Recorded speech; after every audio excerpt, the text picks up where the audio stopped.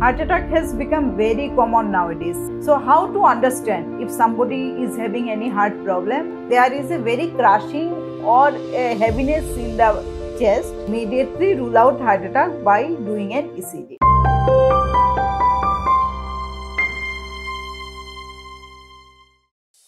Hello friends, today I am going to discuss about the symptoms of heart attack.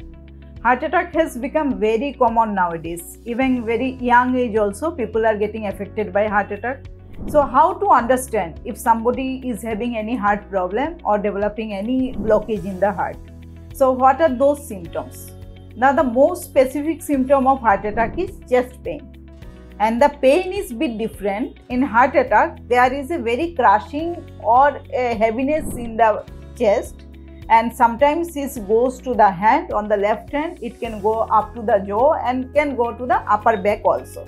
So chest pain which increases on walking or on exertion and reduces by taking rest. Is specifically we can tell this is angina or cardiac heart pain.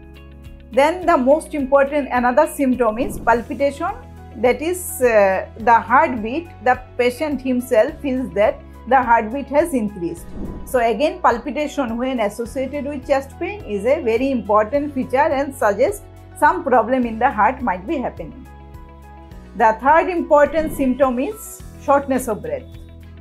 If while walking or going upstairs, if we feel that we are not able to walk and feeling so much suffocation, this might be the sign of a heart blockage and something might be wrong with the heart. Then the next important symptom is loss of consciousness or syncope. This can happen when there is a electrical problem in the heart or when the heartbeat is very low. The patient might feel dizzy and he might fall down.